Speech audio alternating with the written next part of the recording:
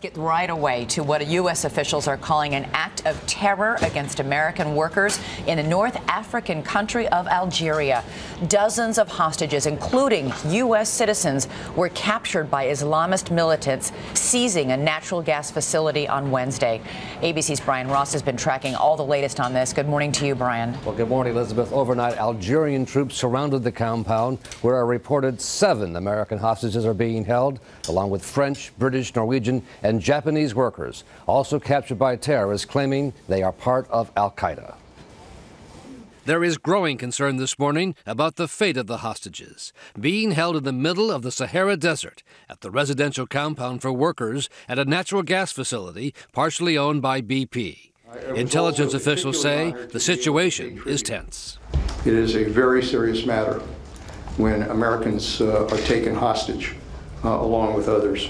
The terror strike came without warning Wednesday morning when an estimated 20 gunmen first attacked a bus carrying workers, escorted by two cars carrying security teams. At least one worker was killed. Then the terrorists moved on to the compound, where they are now holed up with the American and other Western hostages.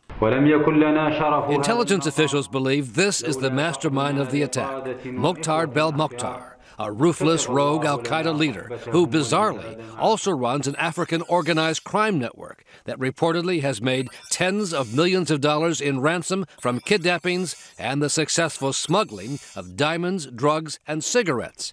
His nickname is Mr. Marlboro. He's very, very cold, very businesslike. Canadian Robert Fowler, a former UN diplomat in Africa, was held hostage for four months by Belmokhtar until freed in 2009. Fowler says he is a man to be feared. I was afraid for my life all the time. I was afraid for my life when I woke up in the morning and when I went to sleep at night. He's a very serious player. Intelligence officials say the situation would be much easier if all the terrorists wanted was money.